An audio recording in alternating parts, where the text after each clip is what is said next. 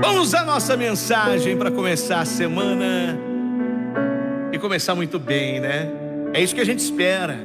Como é que está o seu entusiasmo pela vida, pelas coisas? Segundo os gregos, só pessoas entusiasmadas eram capazes de vencer os desafios do dia a dia, do cotidiano.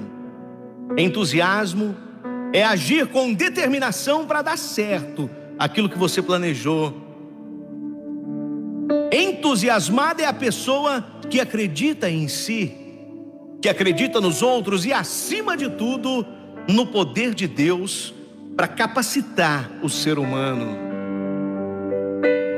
E preste atenção numa coisa: não é o sucesso que traz o entusiasmo, é o entusiasmo que traz o sucesso. E todos nós conhecemos pessoas que ficam esperando as condições melhorarem, né? Aliás, até nós mesmos. Ficamos ali esperando, ah, a coisa vai melhorar, as coisas vão acontecer, a vida vai melhorar, o sucesso vai chegar, para depois que acontecer, entusiasmarem. O entusiasmo é ele é quem traz uma nova visão de vida, você tem que se entusiasmar antes.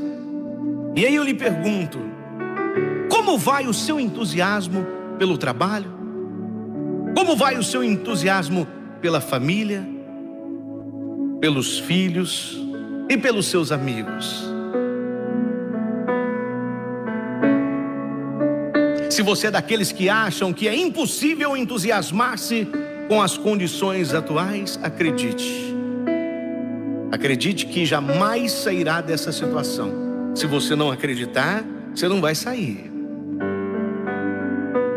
Então, para começar a semana, deixe de lado o negativismo, os pensamentos pequenos, abandone a descrença e tenha mais entusiasmo pela vida, por você, por fazer a diferença, e você verá a diferença.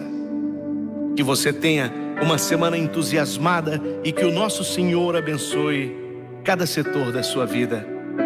Vamos começar tudo de novo? Vamos lá! Bom dia! Bom dia! Bom dia, Clube! E para começar o nosso Bom